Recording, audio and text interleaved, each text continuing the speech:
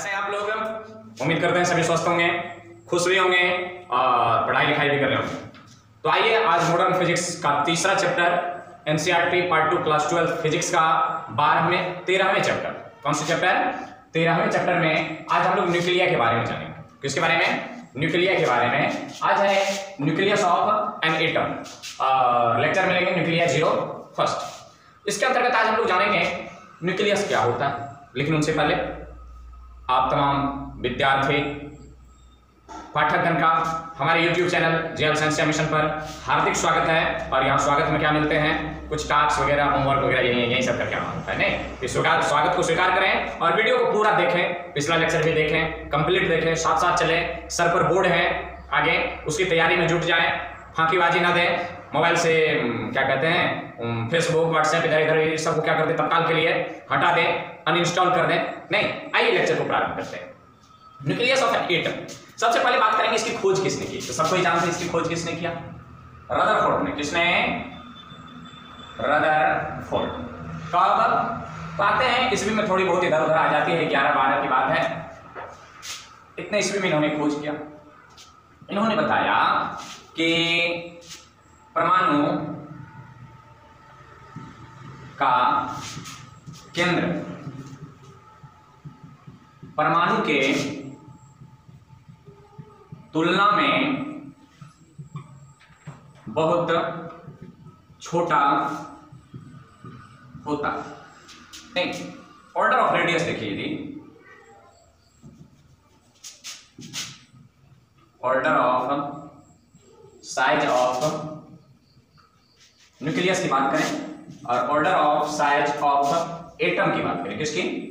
Atom तो order बताया इन्होंने 10 to the power minus fourteen metre to 10 to the power minus fifteen metre ज़्यादातर examination में ये यदि आपको पूछें कि केंद्र के आकार का ऑर्डर मतलब कोटि क्या है तो 10 के पावर माइनस पंद्रह। इसके पीछे गुणांक में कुछ भी हो सकता है। कहीं कहीं को लिखा जाता है चार दशमलव एक गुना दस के पावर माइनस पंद्रह। कहीं कहीं इकतालीस दशमलव इकतालीस दशमलव गुना दस के पावर माइनस पंद्रह।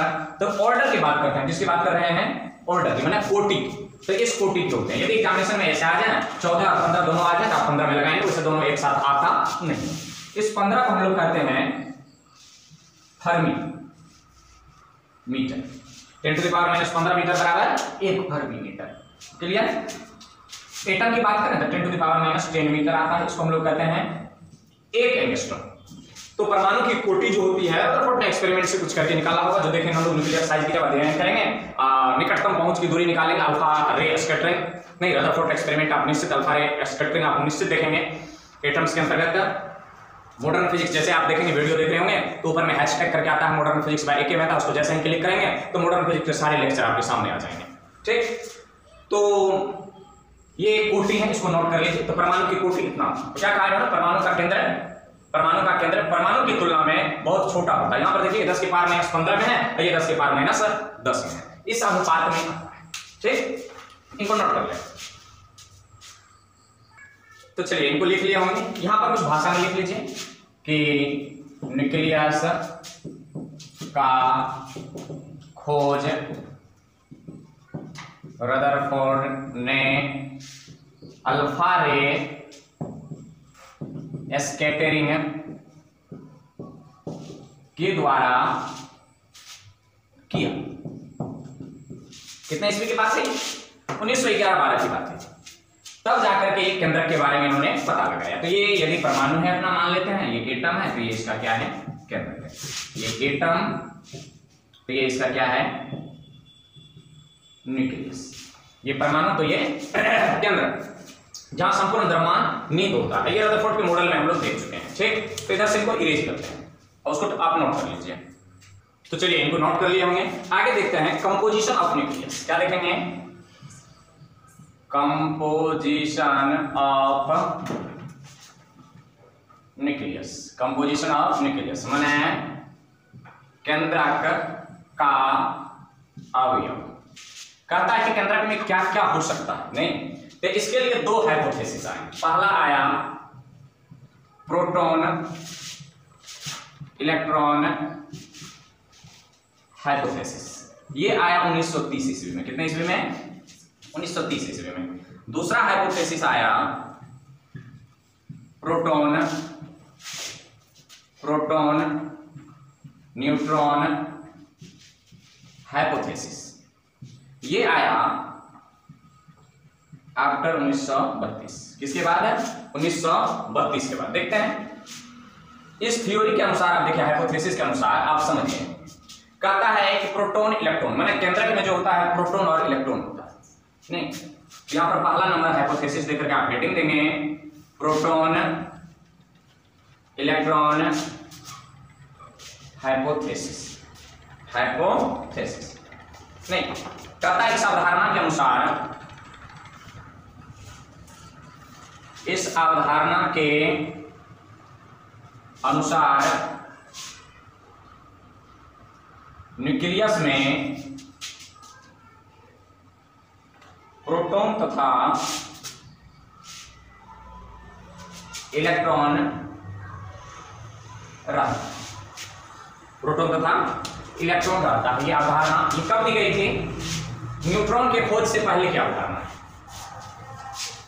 जब तक न्यूट्रॉन की खोज नहीं हुई थी, तब तक ये अवधारणा चल रही थी। ये और आगे कहता है, यह अवधारणा यह अवधारणा न्यूट्रॉन के खोज से पहले का है। कब का है ये?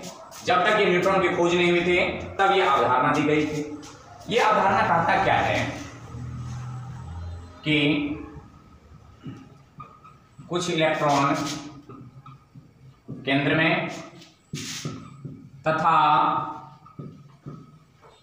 कुछ इलेक्ट्रॉन ऑर्बिट्स में चक्कर लगाते लगाते केंद्रक में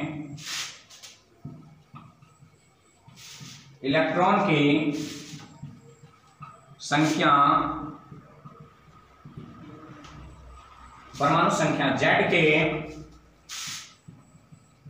बराबर तथा प्रोटॉन की संख्या ए माइनस जेड के बराबर होता है। ये हाइपोथेसिस है किसके? प्रोटॉन इलेक्ट्रॉन हाइपोथेसिस अब इन हाइपोथेसिस को क्या किया कि विभिन्न साइंटिस्ट ने जैसे डी ब्रॉगली ने समरफील्ड ने इत्यादि लोगों ने इसको स्कॉटिंजर ने आ, क्या कहते हैं हाइजेंस ने इस सिद्धांत को अपने कसौटी पर साधना चाहा। कौन कौन सी कसौटी? कहा देखते हैं कि क्या ये वेव नेचर वेव मैकेनिक्स को सेटिस्फाइड करता है? क्या ये डी ब्रॉगली वेवलेंथ को सेटिस्फाइड करता है? जब उस कसौटी पर उतारना चाहा तो कहा, नहीं, ये अवधारणा ही गलत है यह अवधारणा चलेगा नहीं। पर अवधारणा जब है तो पढ़ना पड़ेगा तो ये अवधारणा को आप फटाक से नोट करें, इनके ड्रॉबैक देखते हैं ड्रॉबैक क्या प्रोटोन इलेक्ट्रॉन हाइपोथेसिस का नहीं तो क्या कहते हैं? Drawbacks of proton electron hypothesis मैंने इसकी अवगुण क्या। नहीं तो कहता है? निम्नलिखित कारण से इस हाइपोथेसिस फटाफट नोट करें, को रिजेक्ट कर दिया गया। क्या कर दिया गया? पहला। यदि इलेक्ट्रॉन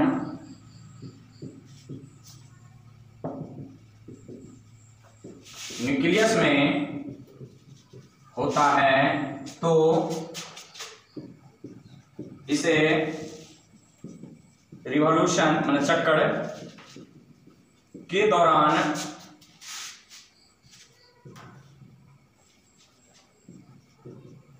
लगभग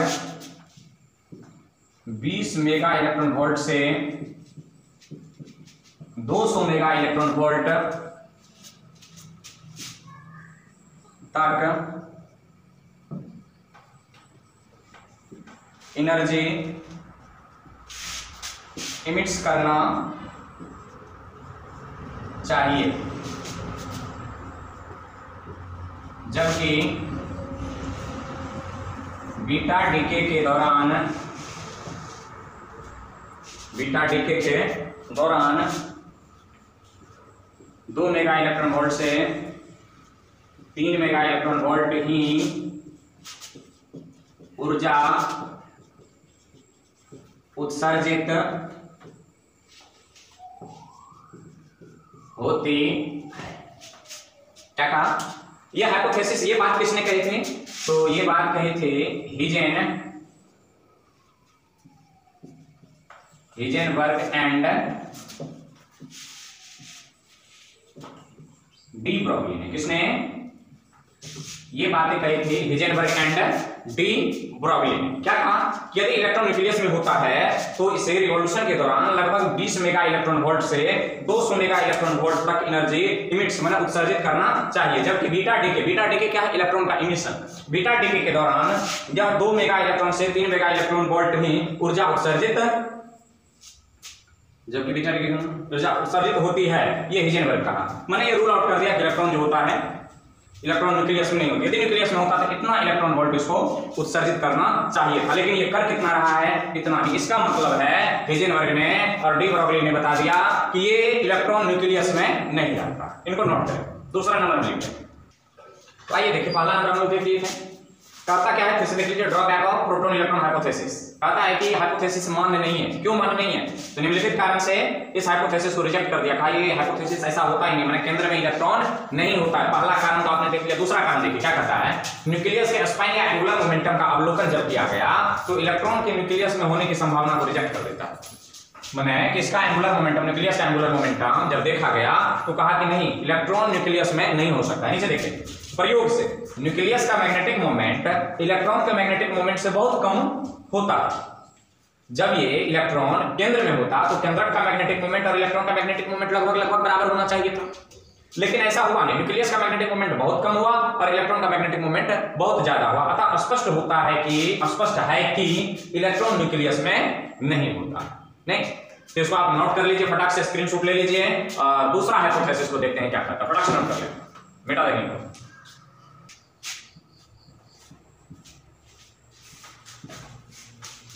देखिए, ये पाँच अवधारणा है कहता क्या है ये नहीं? याद रखेंगे। और ये नोट में लिखते हैं। यह अवधारणा सर्वमान्य है। मैंने कौन सी अवधारणा सर्वमान्य है?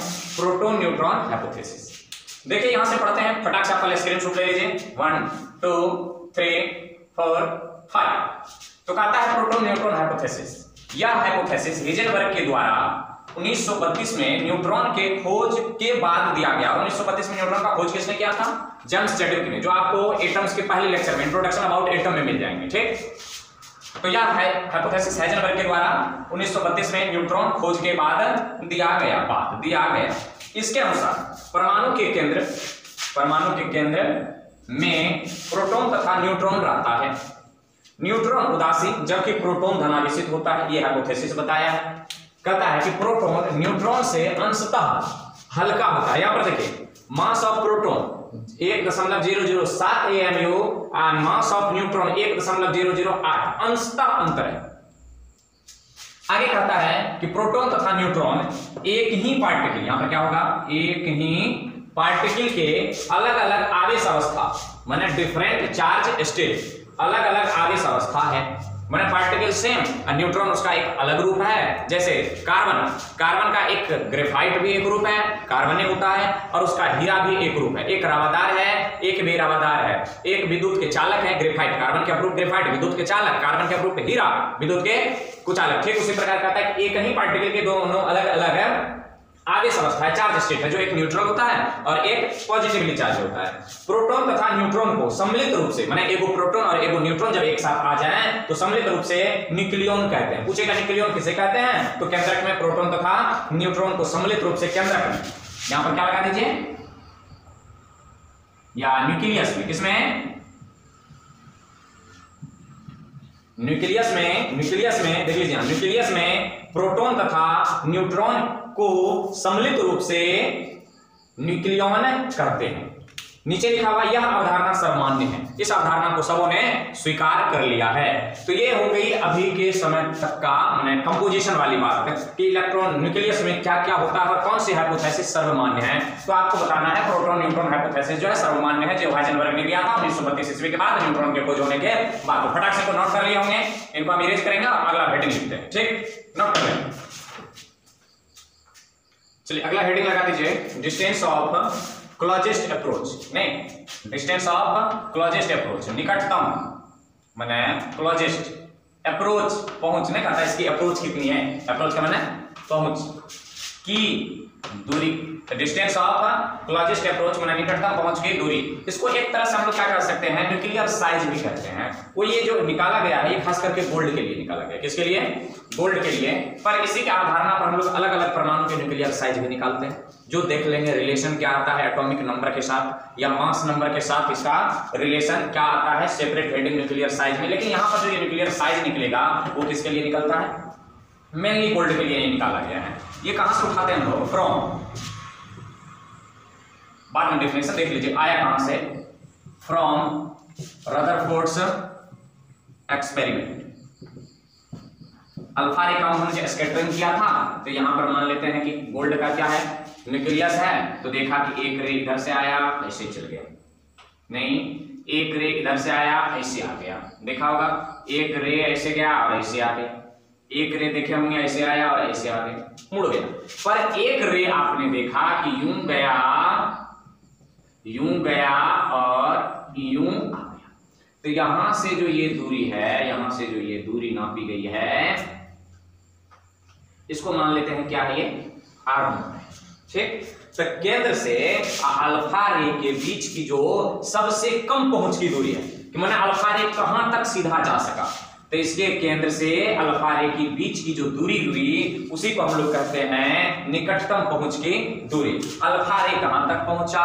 अल्फ़ा रे कहाँ तक पहुँचा? तो यहाँ तक पहुँचा। तो ये कितना निकट पहुँच सका? तो आर नोट के निकट पहुँच सका। अब इसी को मानते हुए ऐसे करके इसको क्या बना लिया? इसको रेडियस मानते हुए कहा कि ये केंद्र का साइज़ होता ये केंद्र का साइज़ होता है यहाँ तक नहीं गया। पर ये जो है, इससे कम और इससे ज़्यादा भी केंद्र का साइज़ हो सकता है। ये मेनली किसके लिए आया है? गोल्ड के लिए आया है। तो देखते हैं यहाँ पर हुआ है क्या क्या। नहीं, वास्तव में क्या क्या हुआ है? वास्तव में क्या क्या हुआ है? तो पहले, नहीं, यहाँ पर क्या लेंगे एजम्पन तो पहला नंबर लेते हैं हम लोग कि निकटतम पहुँच की दूरी को डिफाइन करते हैं। किसको? निकटतम पहुँच की दूरी को। तो केंद्र तथा अल्फ़ा रे के बीच की दूरी को हम लोग क्या कहते हैं? निकटतम पहुँच की दूरी। तो क्या कहते हैं? अल्फ़ा रे अल्फ़ा रे के द्वारा 180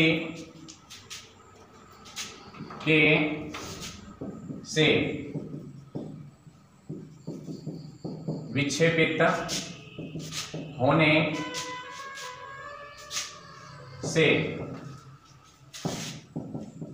केंद्र तक की दूरी को दूरी को निकटतम पहुँच की दूरी करते हैं। पढ़ लेते हैं एक बार। अल्फ़ा रे के द्वारा 180 से विक्षेपित होने से, जहाँ से ही अल्फ़ा रे 180 से विक्षेपित होने से, जहाँ से हो गया यहाँ से 180 से विक्षेपित हुए, वहाँ से केंद्र तक की दूरी को, यहाँ से केंद्र तक की दूरी को, क्या कहते हैं, निकटतम पहुँच के दूरी करते हैं। हो सकता है भाषा थोड़ी अटपटांग लगे, पर फीलिंग्स आनी चाहिए आपको। कि अल्फ़ा रे जहाँ तक पहुँचा जहाँ तक पहुँच करके 180 से क्या आ गया ये?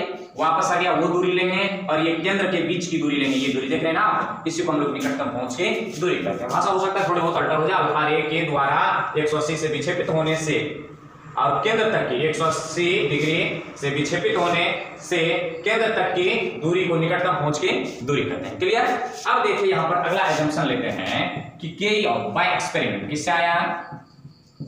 बाय एक्सपेरिमेंट कि के ई मैंने काइनेटिक एनर्जी ऑफ़ अल्फ़ा रे का होता है 5.5 मेगा इलेक्ट्रॉन वोल्ट मेगा जानते हैं ना? 10 to the power 6 10 to the power 6 इसी को हम लोग क्या कहते हैं?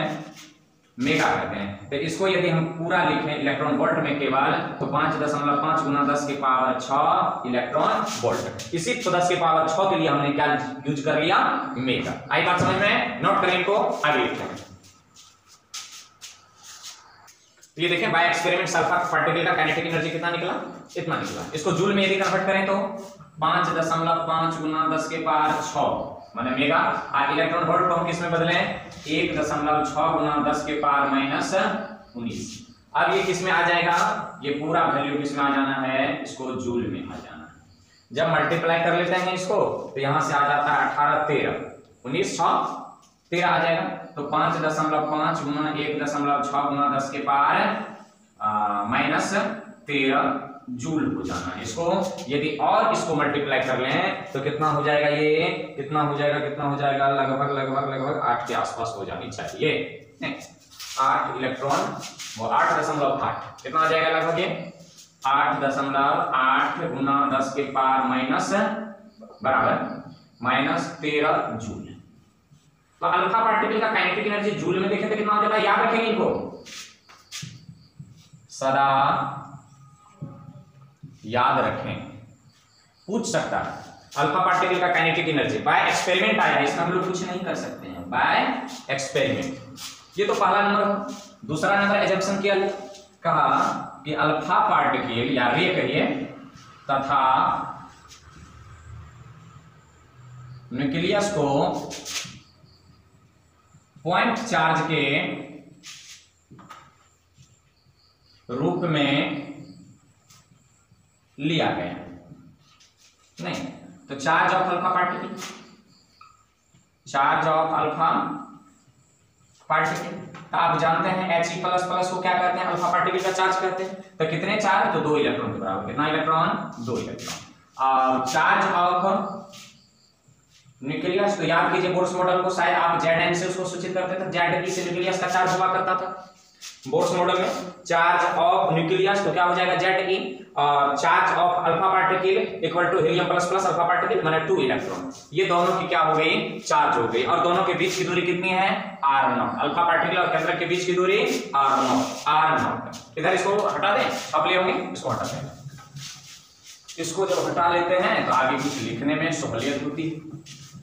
जगह मिल जाती। है ये जो भी निकलेगा, किसके लिए निकलेगा?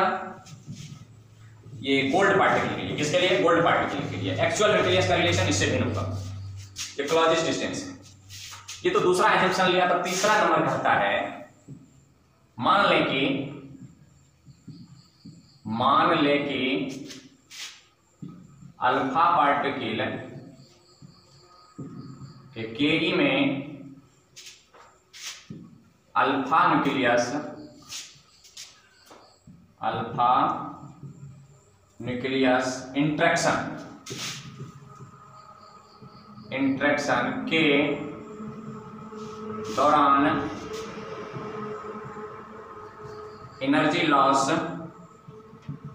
नहीं होता ये तीन एजम्पशन लिए। क्या कहता है कि मान लें कि अल्फ़ा पार्टिकल के केई में अल्फ़ा न्यूक्लियस इंट्रैक्शन के दौरान एनर्जी लॉस लॉस नहीं होता है। मैंने लॉस नहीं होता अल्फ़ा न्यूक्लियस इंट्रैक्शन जब यहाँ पर अल्फ़ा पार्टिकल आया गौर करें यहाँ पर।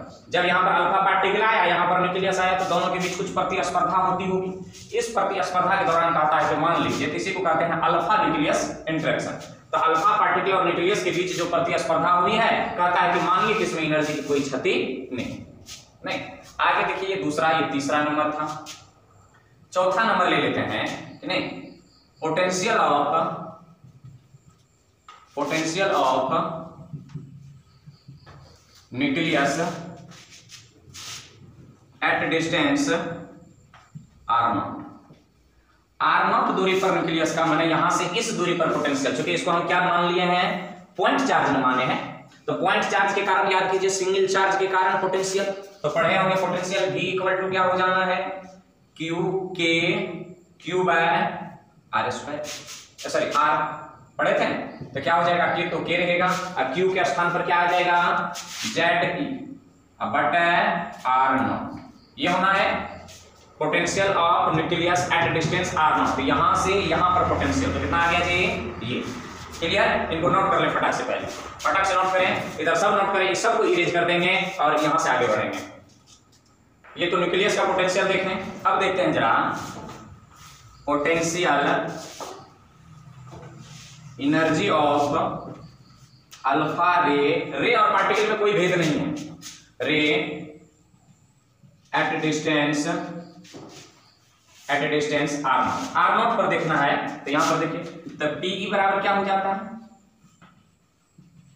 पोटेंशियल गुना चार्ज देखिए वर्क डन वहीं तो पोटेंशियल एनर्जी बनता है तो पोटेंशियल गुना चार्ज यहाँ पर देखिए तो पीई बराबर क्या हो जाना है?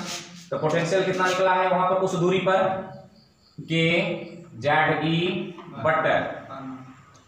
R naught गुना चार्ज कितना है अल्फ़ा पार्टिकल का? टू। तो पी इक्वल टू क्या हो जाएगा? K Z two K Z E square but R naught समीकरण कर लीजिए एक अब अगला नंबर देखते हैं, छठा नंबर के ऑफ़ अल्फ़ा पार्टिकल अब कहेंगे एक बार आप पार्टिकल लिखते हैं, एक बार रे बार कर रहे हैं रे और पार्टिकल में कोई भेद नहीं है। तो क्या हो जाएगा? वन बाय टू के बराबर one by two M V square. मैंने क्या है? M equal to mass of electron नहीं मास ऑफ़ अल्फ़ा पार्टिकल मैंने अल्फ़ा पार्टिकल का मास ऑफ़ अल्फ़ा पार्टिकल मैंने एम अल्फ़ा बराबर कितना यूनिट फोर यूनिट या four unit of H unit of hydrogen alpha particle कितना होता है भारी? हाइड्रोजन से कितना गुना ज़्यादा? चार गुना ज़्यादा। भी क्या है? वेलोसिटी ऑफ़ अल्फ़ा पार्टिकल अब यहाँ पर एजम्पशन देखिए, तीसरा नंबर इसलिए इसको नहीं मिटाएँ कि मान लें कि अल्फ़ा पार्टिकल के की न्यूक्लियस इंट्रैक्शन के दौरान लॉस नहीं होता है। जब लॉस नहीं होता है तो इसको कह लीजिए समीकरण दो। तो यहाँ पर आइए, समीकरण एक तथा दो से। समीकरण एक तथा दो से। पीई बराबर के नो लॉस ऑफ़ एनर्जी ऊर्जा की कोई क्षति नहीं हो रही। तीसरा नंबर एग्ज़ाम्पल देखिए। मान लें कि अल्फ़ा पार्टिकल तथा के में कोई लॉस नहीं होती है। तो पी बराबर के माना नो लॉस ऑफ़ एनर्जी माना वहाँ पर टोटल एनर्जी ज़ीरो हो जाना। आई बात समझ में? यहाँ पर जो बनाए थे, जहाँ पर आया था, यहाँ पर कुछ देर के लिए पार्टिकल रुका हुआ ना। तो जब रुका होगा तो काइनेटिक एनर्जी ज़ीरो और पोटेंशियल एनर्जी हायर माने टोटल एनर्जी इसके बराबर इसके बराबर, माने काइनेटिक एनर्जी का जितना क्षति हुआ वो किसमें बदल गया होगा? पोटेंशियल एनर्जी में। और काइनेटिक एनर्जी में टोटल के टोटल किसमें बदल गया? पोटेंशियल में। क्या कहा? के में नो लॉस माने कोई क्षति नहीं हुई, जितना के था वो किसमें कन्वर्ट हो गया? पी में कन्वर्ट हो गया। तो यहाँ पर क्या लिख सकते हैं? 1 बाय 2 mv स्क्वायर बराबर 2 के जेड ई स्क्वायर बटा आर नॉट तो आर नॉट बराबर क्या निकालेंगे two K Z E square बटा 1 बाय 2 एम वी स्क्वायर यही तो निकल गया। निकटतम पहुँच की दूरी आर नॉट निकटतम पहुँच की दूरी। फटाक से एक बार नोट कर लीजिए तो हम मिटावेंगे। नहीं इसको नोट नहीं करना इसको तो हम कक्षा में नहीं लिख लेते हैं। आठ दशमलव आठ। आठ दशमलव आठ गुना दस के पार माइनस तेरह जूल। फटाक से इनको नोट कर लो। तो इनको नोट कर लिए अब इनको इरेज करते हैं देखिए। ये तो number wise step wise step बताएँ आपको।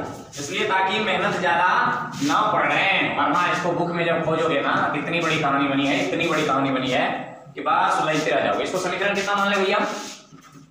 तीन। समीकरण कितना मान ले? ये बराबर क्यों हो गया? No loss of energy energy में कोई क्षति नहीं। हुई। यदि क्षति होता तो काइनेटिक एनर्जी पोटेंशियल एनर्जी के बराबर नहीं होता।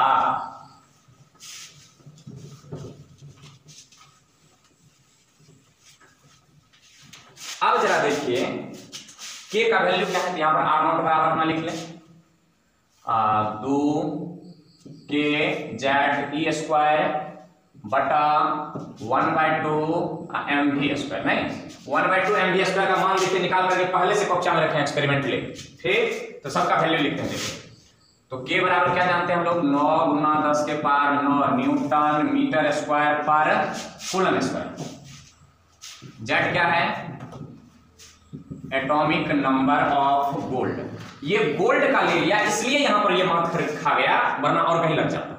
वरना और कहीं लग जाता। तो गोल्ड का एटॉमिक नंबर क्या होता है? सेवेंटी नाइन ई बराबर क्या है?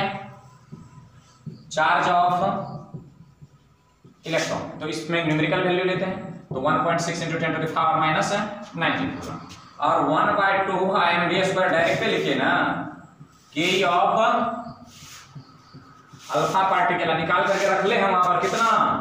आठ दशमलव आठ गुना दस के पार माइनस तेरह joule. Putting the value of find the result इन सब का जब आप मान रखेंगे तो आर नॉट बराबर जो निकलने वाला है, वो निकलेगा वो निकलेगा वो निकलेगा वो निकलेगा। एकता चार दशमलव एक तीन गुना दस के पार माइनस चौदह। यहाँ पर हम एक चीज़ याद दिलाएँगे आपको। माइनस चौदह। इसी को लिखते हैं ओ आर और करके आर नॉट बराबर और। और करके आर नॉट बराबर इकतालीस दशमलव तीन गुना दस के पार माइनस पंद्रह। इसी को क्या लिखते हैं? आर नॉट बराबर इकतालीस दशमलव तीन। फर्मी याद आया कुछ? दस के पावर पंद्रह को क्या कहते हैं? ये वैल्यू किसके लिए आया है?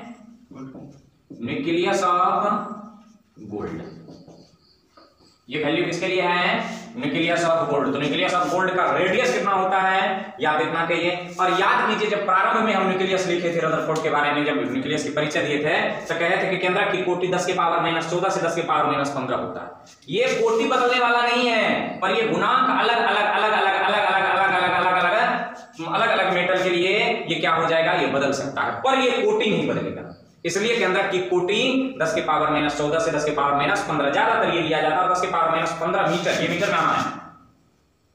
ये मीटर में हो गया तो इसको क्या कहेंगे? फर्मी मीटर में। इसी को हम लोग कहते हैं निकटतम पहुँच की दूरी। उम्मीद करते हैं आपको ये समझ में आए होंगे। ताकि हम लोग साइज़ ऑफ़ न्यूक्लियस देख लेते हैं। एक ऐसा फॉर्मूला बनाए जो सभी एटम पर लग जाए। एक ऐसा फॉर्मूला बनाए जो सभी एटम पर लग जाए। इनको पहले आप से नोट कर लीजिए, इसको इरेज कर देंगे और साइज़ ऑफ़ न्यूक्लियस हेडिंग डाल दीजिए। नोट करें। हेडिंग लगा दीजिए न्यूक्लियर साइज़ माने नाभिक की या केंद्र की नाभिक की आकार। आकार में मेनली हम लोग रेडियस निकालते हैं। क्या निकालते हैं? आकार में मेनली क्या निकालते हैं? रेडियस रेडियस जब निकल गया तो क्षेत्रफल निकालिए कि आयतन निकालिए तो निकलिए सब रेडियस को क्या मान लें अपन? आर मान लेते हैं। क्या मान लेते हैं? आर मान लेते हैं। यहाँ पर कुछ एजम्पन लिखते हैं। नहीं। बाय एक्सपेरिमेंट जिससे ये सब आया है बाय एक्सपेरिमेंट से। नंबर एक फिर एक एक नंबर दो दो नंबर करते नहीं? और तीन particle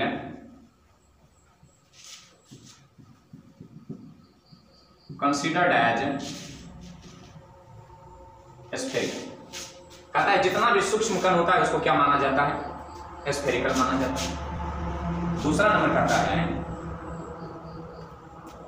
volume of tiny solid sphere इसी को क्या कहेंगे? Nucleus is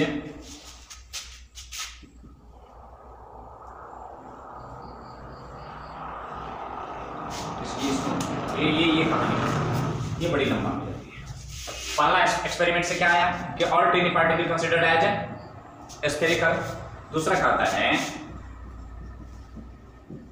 volume of nucleus is directly proportional to the mass MBR mass number of atom यही बात को पकड़ना है। दो बातें। ये सब आई है बात किससे? बाय एक्सपेरिमेंट से। कहता है ऑल टीनी पार्टिकल मतलब जितने भी सूक्ष्म कण होते छोटे छोटे कण होते हैं, उसको क्या कंसीडर कीजिए आप, क्या है? स्फेरिकल है। दूसरा कहता है कि volume of nucleus is directly proportional to the mass number of atom परमाणु का जो मास नंबर होता है, उसके डायरेक्टली प्रोपोर्शनल होता है। यहाँ पर देखिए दोनों एजम्पशन को पकड़ते हैं, और भी डायरेक्टली प्रोपोर्शनल क्या हो गया? ए भी डायरेक्टली प्रोपोर्शनल ए भी क्या है? वॉल्यूम ऑफ़ न्यूक्लियस और ये ए क्या है? मास कौन सी नंबर मास तो volume of nucleus nucleus as a tiny particle tiny particle मतलब four by three pi R cube radius को अपन क्या माने हैं? R pi R cube directly proportional किसका हो जाना है? ए का. यहाँ से हम आर क्यूब को इधर रखें और डायरेक्टली प्रोपोर्शनल करें ए और गुना हो जाएगा, ये ऊपर चल जाएगा थ्री और बटा फोर पाई क्लियर ये कांस्टेंट है। ये क्या है? कांस्टेंट तो आर क्यूब इस कांस्टेंट को जब हटा लें, कुछ मान लेते हैं। तो R R cube directly proportional constant ये कांस्टेंट है सर ये क्या आ गया यहाँ पर? कॉन्स्टेंट वेरिएबल कौन है? आर बदलेगा कौन? आर हम बदलेंगे जमाना। आर तो आर डायरेक्टली प्रोपोर्शनल बना आर क्यूब डायरेक्टली प्रोपोर्शनल किसका? ए का। तो आर क्यूब इक्वल टू मान लेते हैं यहाँ पर आर नॉट जो हाइड्रोजन स्पेक्ट्रम के लिए आता है। ये हाइड्रोजन एटम के लिए। तो आर बराबर क्या हो गया? इसको जब ऐसे करेंगे ना तो गड़बड़ हो जाएगा, नहीं? तो R directly proportional A to the power one by three तो R equal to R naught into A to the power one by three जहाँ आर नॉट इक्वल टू क्या? 1.1 point one into ten to the power minus fifteen metre मने और कहिए, और R naught equal to एक दशमलव एक Fermi ये सब के सब एक्सपेरिमेंट से लिया गया है। तो आर बराबर क्या हो गया? रेडियस फॉर एग्जांपल यहाँ पर ले लें। Radius of A L radius of A L A बराबर कितना हो जाता है? सत्ताईस। जेड बराबर तेरह। आइए यहाँ पर देखते हैं।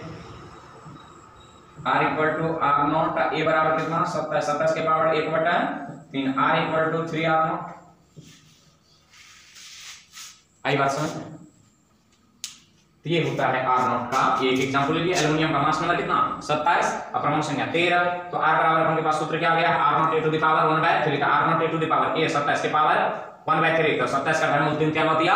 27 3 तो क्या हो जाएगा ये? 3 आर नॉट और आर नॉट का वैल्यू यहाँ से हट दीजिए, उतना इसका रेडियस आ जाता है। तो जैसे जैसे द्रव्यमान बढ़ेगा, वैसे वैसे मास नंबर बढ़ेगा, वैसे वैसे परमाणु की आकार भी बढ़ती जाएगी। बस ये न्यूक्लियर साइज़ अब इसके बाद डेंसिटी देख लेते हैं फटाक से नोट कर लीजिए एज एस्फेरिकल यहाँ एस छूट गया था स्पेलिंग मिस्टेक के लिए माफ़ करें फटाक से नोट करें। चलिए अगला हेडिंग लगा देंगे। Nuclear density nuclear density nuclear density को किससे दिखा ले अपना? रो से। नहीं तो डेंसिटी बराबर क्या जानते हैं? डेंसिटी बराबर मास बाय वॉल्यूम डेंसिटी बराबर मास बाय वॉल्यूम तो यहाँ न्यूक्लियर डेंसिटी है रो तो क्या हो जाएगा? मास ऑफ़ न्यूक्लियस बटे वॉल्यूम ऑफ़ न्यूक्लियस नहीं। बारी बारी से देखते हैं mass of nucleus. Mass of nucleus. Nucleus में होता कौन कौन प्रोटॉन प्लस न्यूट्रॉन। इसी को हम क्या करते हैं? ए करते हैं। प्रोटॉन प्लस न्यूट्रॉन को मिलाकर के क्या करते हैं अपन? ए मतलब mass number. Proton plus neutron को मिलाकर के मास नंबर कहते हैं। अब देखिए mass of proton equal to mass of neutron equal to मान लेते हैं M equal to one point six seven into ten to the power minus सत्ताईस K G clear mass of proton equal to mass of neutron equal to M मान लिए हैं तो equal to इतना इतना तो अब देखिए मास ऑफ़ न्यूक्लियस क्या होता है? मास ऑफ़ न्यूक्लियस नहीं। इन न्यूक्लियस न्यूक्लियस में क्या क्या होता है? प्रोटॉन प्लस न्यूट्रॉन जिसको हम क्या कहते हैं? जेड तो मास ऑफ़ न्यूक्लियस लेते हैं मास ऑफ़ न्यूक्लियस तो प्रोटॉन प्लस न्यूट्रॉन ए अगुना छठा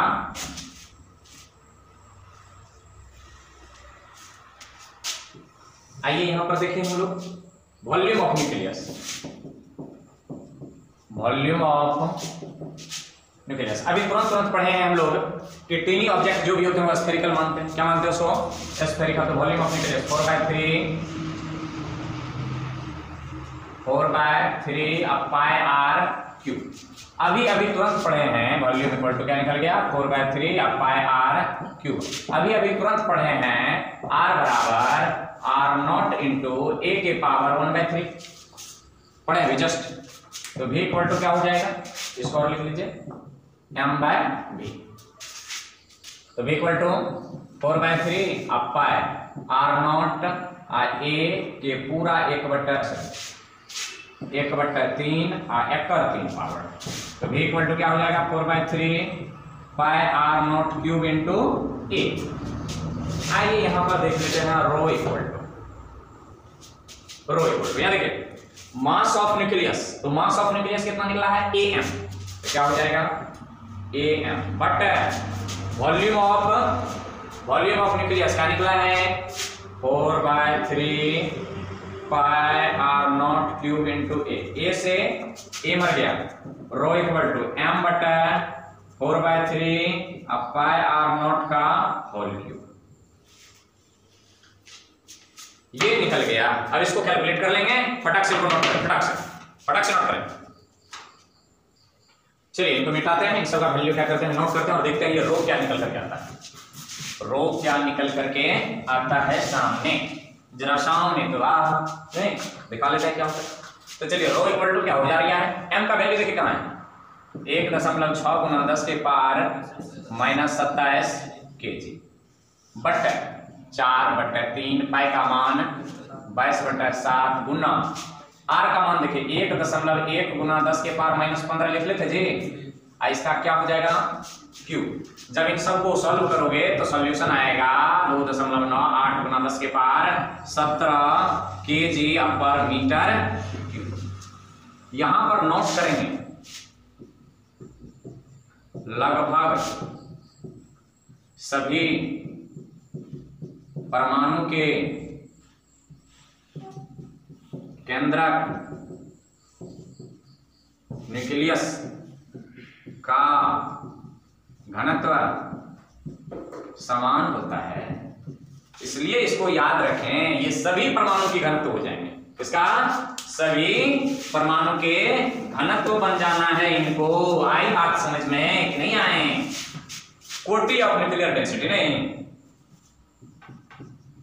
ऑर्डर ये सब याद रखें order of nuclear density equal to दस के पार, सत्रह के जी पर, ये पावर जो आता है, इसको कोटि कहते हैं। ऑर्डर क्या कहते हैं इनको? ऑर्डर किसी खास परमाणु का ये न्यूक्लियर डेंसिटी है? ना ना ना ना ये सभी परमाणु का न्यूक्लियर डेंसिटी है। सभी परमाणु का न्यूक्लियर डेंसिटी है। फटाक से इनको नोट कर लें। इरेज करके छोटी सी रिलेशन बताएँगे अभी। फटाक से नोट करें। चलिए, आइए देखते हैं एक रिलेशन बिटवीन बिटवीन एएमयू मने atomic mass unit and mega electron volt इसको लिखते हैं एम नहीं, किसके किसके बीच देखना है? रिलेशन बिटवीन ए एम मैंने atomic mass unit A M U and mega electron volt मैंने एम बी तो सबसे पहले यहाँ देख लीजिए। एक मेगा इलेक्ट्रॉन वोल्ट बराबर होता है दस के पार छ इलेक्ट्रॉन वोल्ट ये देख लीजिए, यहाँ से। नहीं, ये हेडिंग है, और यहाँ से समझिए मेगा माने टेन टू दावर सिक्स ये सब कोई जानते मेगा जी का बेटा, टेरा, एक जाओ तो। हाँ। तो यहाँ पर एक इलेक्ट्रॉन वोल्ट बराबर हम जानते हैं। एक दशमलव छह गुना दस के पार माइनस उन्नीस जूल। तो एक मेगा इलेक्ट्रॉन वोल्ट बराबर कितना जूल? एक दशमलव छह गुना दस के पार माइनस उन्नीस गुना दस के पार छ एक इलेक्ट्रॉन वोल्ट बराबर इतना। आ, एक मेगा बराबर इतना इलेक्ट्रॉन वोल्ट एक मेगा इलेक्ट्रॉन वोल्ट बराबर कितना जूल? आइए बात समझ में? एक मेगा इलेक्ट्रॉन वोल्ट बराबर क्या हो जाएगा? एक दशमलव छह गुना दस के पार माइनस तेरह जुलाई, ये साइज़ इससे पहले निकाले थे? चलिए देखिए। एक रिलेशन तो यहाँ पर आ गया। दूसरा रिलेशन लाते हैं, एक बार किसमें? ए एम यू तो एक ए एम यू बराबर हम लोग क्या जानते हैं? एक दशमलव छह सात गुना दस के पार माइनस सत्ताईस के जी या एक ए एम यू बराबर एक ए एम यू बराबर देखे होंगे, एक दशमलव छह सात गुना दस के पार माइनस चौबीस ग्राम। जिस रोज एम यू का परिभाषा बताए होंगे, उसी रोज बताए आइए चलते हैं फ्रॉम अब देखिए, ये भी एस आई में ले आए किसमें है ये? एस आई में। और ये भी किसमें है? एस आई ये चिन्ह का मतलब और कुछ नहीं समझ लेना, ये सही का चिन्ह लगाए, ठीक? ये भी एस आई में, ये भी एस आई में। फ्रॉम गड़बड़ करवा दिया ना? From Einstein mass energy equivalence E बराबर हम लोग क्या जानते हैं? एम सी स्क्वायर ई बराबर एम सी स्क्वायर ई बराबर एम सी स्क्वायर एम बराबर इतना सी बराबर कितना? हाँ. ई बराबर. एम बराबर कितना आया है? एक दशमलव छ सात गुना दस के पार माइनस सत्ताईस गुना सी का मान बोलिए, तीन गुना दस के पार आठ का स्क्वायर तो ई बराबर तीन तिया एक दशमलव छ सात गुना नौ गुना दस के पार माइनस सत्ताईस गुना दस के पार आठ गुना सोलह। ये एनर्जी है ई बराबर। तो एक दशमलव छ इसको गुना कर ले जरा, नौ सत्तर। तिरसठ के तीन बाकी। छ नौ छा का। चौवन छ साठ के। ज़ीरो बाकी। एक और नौ एक। दस। Point. One two one two. मैंने दस दशमलव ज़ीरो, तीन गुना दस के पार। माइनस ग्यारह। जूल ना जूल। इसको और बदलते हैं। ई बराबर एक दशमलव ज़ीरो ज़ीरो तीन गुना दस के पार माइनस दस जूल। इसी को? नहीं। अब जरा देखिए कि ई बराबर उतना निकला और एक मेगा इलेक्ट्रॉन वोल्ट बराबर कितना है। एक मेगा इलेक्ट्रॉन वोल्ट बराबर कितना फटाक से नोट कर लीजिए। फटाक से नोट कर लें। यहाँ मल्टीप्लाई गलत है जी। नहीं मैथमेटिक्स थोड़ी हाँ। यहाँ पर क्या होना है? यहाँ पर होना है पंद्रह दशमलव ज़ीरो तीन। जी नहीं, पंद्रह दशमलव तीन। तो यहाँ पर क्या हो जाएगा? एक दशमलव पाँच तीन। अब ये सिर्फ़ एक दशमलव पाँच तीन। छापे अब इनको किसमें बदलना है? इसमें बदलना है। तो इधर से छाप लिए होंगे। यहाँ पर पंद्रह दशमलव ज़ीरो तीन और एक दशमलव पाँच ज़ीरो तीन। ठीक? अब आइए इसको चाहे तो आप एक नियम से इस जूल को इस मेगा इलेक्ट्रॉन वोल्ट में कन्वर्ट कर लीजिए, या आपको जैसे इच्छा हो वैसे कन्वर्ट कर लीजिए। तो जरा देखिए, क्या करते हैं? इससे उठ चलते हैं, इससे। एक दशमलव छ गुना दस के पार माइनस तेरह जूल बराबर एक मेगा इलेक्ट्रॉन वोल्ट, नहीं? तो एक जूल बराबर? तो एक मेगा इलेक्ट्रॉन वोल्ट बट एक दशमलव छ गुना दस के पार माइनस तेरह जूल।